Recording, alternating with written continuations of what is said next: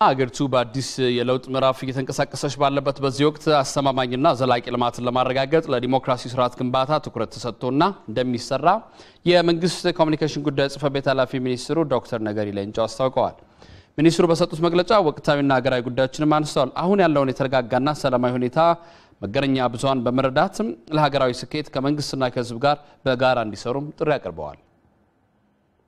ሁላችንን ሊያሳስበን የሚገባው የልማት ጉዳይ ፍትሐዊነትን የማስፈን ዲሞክራሲም በተግባር የማረጋገጥ ጉዳይ የሰብአዊ መብት ጥሰቶችን የማስቆምና የህግ የበላይነትን የማረጋገጥ ጉዳይ መሆኑን በመገንዘብ ሁሉም በተሰማራበት ሚዲያም ጭምር ማለት ኃላፊነቱን እንዲወጡ እንጠይቃለን። ህዝቡ የሚያነሳቸውን ጥያቄዎች ህዝቡን በማስተባበር መፍታት አለብን። ግጭቶች መቆም አለባቸው። ሰላም መስፈን አለበት። ዲሞክራሲ መገንባት አለብን በሚፈለገው ደረጃ። የዜጎቻችንን የልማት ተጠቃሚነትን ማረጋገጥ አለብን። የሰላም መደፍረስ ምንጩ ኢፍትሐዊነት ነው በአንድ በኩል፣ በሌላ በኩል ደግሞ የተለያዩ ምክንያቶችም አሉ።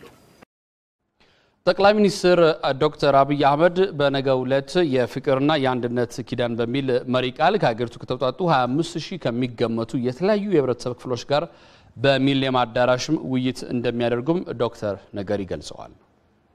ሁለቱም የመሪው ቃል ውስጥ ያሉት ፍቅርና አንድነት ለኢትዮጵያ ህዳሴ መሰረት ናቸው።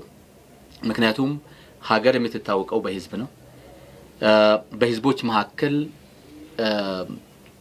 አብሮነት፣ አንድነት፣ ፍቅር ካለ ሀገርን የሚጎዱ ልዩነቶች፣ ጥላቻዎች፣ ጥቃቶች ቦታ ሊኖራቸው አይችልም ማለት ነው። የጥላቻ የግጭት እንዲሁም አላስፈላጊ የሆኑ ክፍፍሎች በድህነታችን ሌላ ሸክም እንዳይሆኑ ትኩረት ተሰጥቶ መስራት ያለበት በህዝቦች አብሮነት ላይ መሆን አለበት። ስለዚህ የዚህ መድረክ ዓላማውም ህዝብንና መንግስት አንድም መሪ ብቻ ሳይሆን በህዝብ የተመረጠ መሪው ፓርቲ አምኖበት የመረጠው ለሀገራችን መሪ ከህዝብ ጋር በመነጋገር ለውጦችን ለማምጣት ግልጽ አቅጣጫ በማስቀመጥ በተቀመጡት የሰላም፣ የልማት፣ አንድነት፣ የዲሞክራሲ ግንባታ ላይ ህዝቡም እንዲረባረብ ለማድረግ ነው።